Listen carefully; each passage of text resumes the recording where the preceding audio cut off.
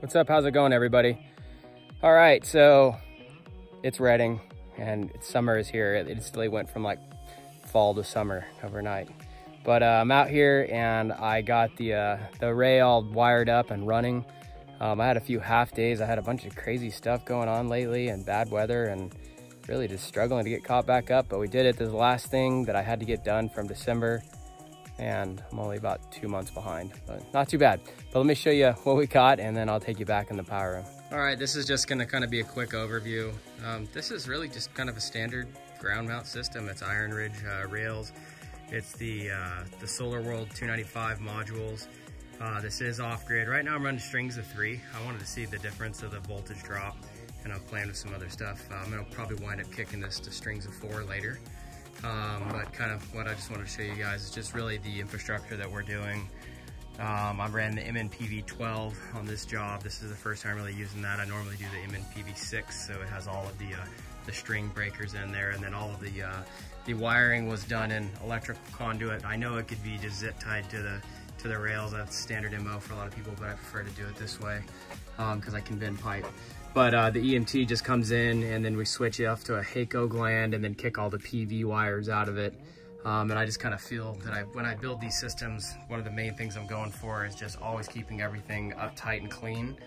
Um, I'm not too sure what happened here. I think somehow or another I got two batches of panels uh, because some of the wires were a little different configuration of how they how they went up wiring up. It was kind of trippy, but um, another thing I like to do to, to really keep these clean is um, these right here. Uh, these are PV clips uh, from Wiley. They're four wires. Uh, this really allows me to keep my ground mount super clean and also color coding everything, keeps it even, even easier to understand. And what I did like on the right hand side, the negatives are black, the left hand side, the negatives are white because I had a couple instances where I had both strings coming out like in this row this side is uh, string A, the left charge controller. This is actually the right controller, string B, and so that's why we have some different, some different color wires coming out there to really help it and keep it easy to identify what's going on.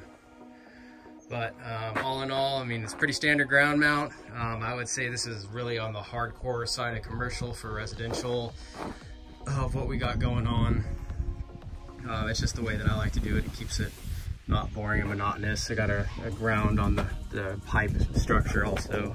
And uh, everything turned out super clean and really nice. Let's go run in the power room and I'll give you guys a two second overview. We've been in there before. All right, here you go. You guys remember this room. This is still one of my favorite systems that I've done so far.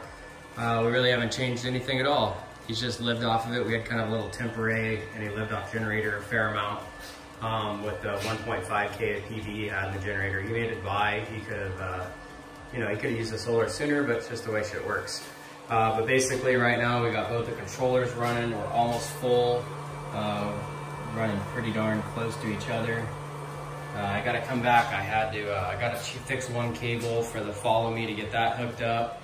Um, and then we were talking, I think we're gonna potentially so adding the, uh, the, other six batteries. So this will have uh, 12 of them all together, which is gonna be a healthy, healthy stack. And it's really gonna let this off-grid house, man, this thing's gonna be freaking going awesome. Do it with doing that. The one other thing we're gonna do is put a wind turbine in here. And I got plenty of room to put a little gutter and two more controllers with a dump load up above.